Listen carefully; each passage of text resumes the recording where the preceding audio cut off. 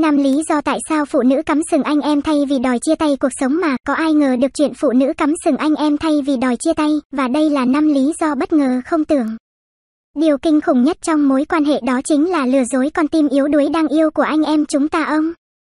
Tôi và cả nàng chúng ta đều biết cắm sừng là hành động đau và tổn thương đối phương vô bờ bến, nhưng tại sao nàng không nói chia tay quách đi rồi đi thả thính hay đất thính dạo cho sướng? Và đây là câu trả lời một, nàng đang tìm phương án dự phòng đánh hơi thấy mùi không ổn trong mối quan hệ yêu đương này. Hoặc nhìn thấy anh em không có tương lai đều là lý do phụ nữ quyết định cắm sừng anh em thay vì đòi chia tay. À tôi chưa đề cập đến lý do nàng thích thì nàng cắm sừng thôi nhé. Nhưng để đảm bảo có đường lui tốt, nàng tìm sẵn cho mình một thằng ngon lành, ổn ổn là đánh bài chuồn luôn. Hai. Nàng muốn anh em là người nói lời chia tay trước, nàng sợ mang tiếng là người chia tay ông trước, nàng sợ đối đầu với sự thật là cả hai phải chia tay. Và nàng là người phải chủ động nghĩ ra lý do và hẹn ông ra trả lời 1001 câu hỏi tại sao chia tay, và thế là phụ nữ chọn cắm sừng. Đến khi anh em bắt đầu sờ lên đầu thấy một đoạn sừng đã mọc từ bao giờ thì tự đòi chia tay. 3. Nàng sợ cam kết có thể nàng là người phụ nữ sợ ràng buộc hoặc là một người phụ nữ thiếu trách nhiệm cho hạnh phúc lâu dài của cả hai thì đều đúng, có phải ông cảm thấy hai người sinh ra dành cho nhau?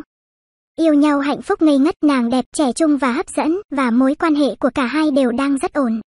Nhưng khi ông có lời đề nghị đưa nàng về ra mắt gia đình hoặc nói về những kế hoạch dự định cho hôn nhân thì nàng bắt đầu sợ phát khiếp. Nàng chọn phá hoại mối quan hệ bằng cách cắm sừng anh em thay vì đòi chia tay, đau nhưng đó là sự thật chấp nhận đi anh em. 4. Nàng đang trả thù ông có những người phụ nữ chọn hận thù làm kim chỉ nam của cuộc sống chứ không chọn tha thứ để có cuộc sống bình yên, và có thể người con gái ông yêu cũng rơi vào trường hợp này. Có thể trong quá khứ anh em đã từng tặng nàng vài cái sừng, sừng mọc trên đầu nhưng vết thương lại đau trong tim, một lần cắm sừng vạn lần đau, mà phụ nữ lại quên rất lâu. Nhất là quên những thằng dám phản bội nàng, sau tất cả, nàng nói nàng tha thứ, yêu ông như xưa và không một lần nhắc lại chuyện này thì 99% nàng sẽ ăn nem, để ông hiểu thế nào là phản bội. Anh em nào từng ăn vụng nhưng người yêu ông có biểu hiện như trên thì tôi khuyên anh em nên mua sẵn thuốc trợ tim uống còn kịp năm. Nàng không nghiêm túc với anh em ngay khi bắt đầu tôi không biết lý do gì đó nàng nhận lời yêu ông. Nhưng nếu tình cảm hai người không bắt đầu bằng sự chân thành thì phản bội là điều không quá bất ngờ, nếu nàng đến với ông vì tiền thì nàng cũng đi khi ông cạn tiền.